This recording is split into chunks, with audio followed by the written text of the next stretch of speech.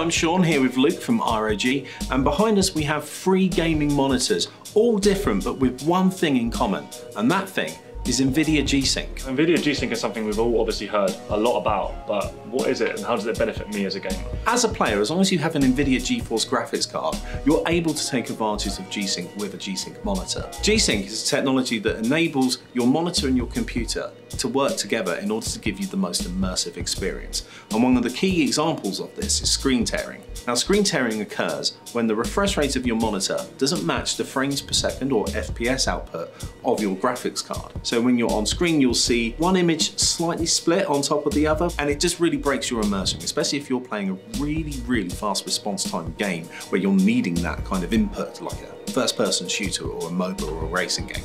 What G-Sync does is sync the frames per second rate to your monitor's refresh rate using the technology and eliminate screen tearing. So these three monitors we've got here today, what are the differences between them? The main differences are between resolutions and screen size. The one in the middle is a 35 inch gaming monitor with HDR. The one on the left is the same but a 27 inch monitor and the one behind me is a 1440p monitor. All of them have ultra high refresh rates and also ultra high resolutions.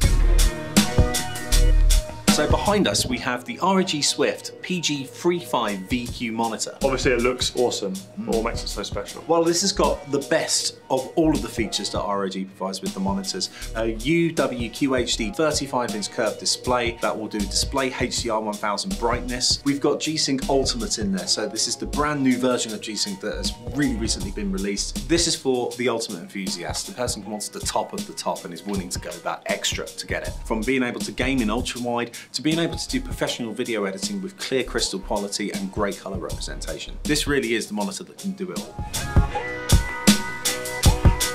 Now we're on to the ROG Swift PG27UQ, which is 4K and HDR. Sean, obviously 4K is super demanding on the system. What benefit will G-Sync have to us? Well, you're absolutely right. 4K is incredibly demanding for any system, and because of that, frame rates can fluctuate a lot. But with G-Sync, you eliminate any of that fluctuation thanks to the refresh rate of the monitor and the frames per second output being in sync. So you'll be able to get pinpoint precision quality with your visuals without sacrificing anything with your speed.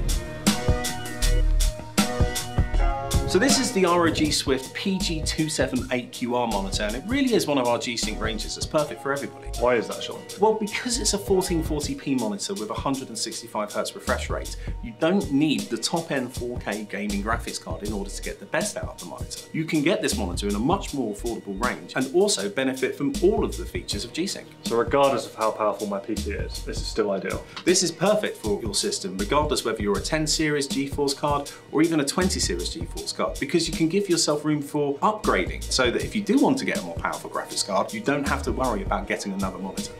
Okay, Sean, so if I go and buy an ROG monitor today and bring it home and take it out of the box, how difficult is it to set up G-Sync? Is there anything I need to do in Windows? It's actually really easy. As long as you've got the most up-to-date NVIDIA GeForce drivers, it's only one click in the Windows display settings with the GeForce panel. But if you've got the GeForce Experience software, which downloads the drivers automatically, it will also optimize your games as well, and it will enable that by default. Super straightforward. Super straightforward, super easy. Nice. So we've got three different monitor specifications here, but it doesn't particularly matter which specification you go for as long as it supports NVIDIA G-Sync. There are many options out there. To learn more about any of the free monitors we've spoken about today, check out the ROG website.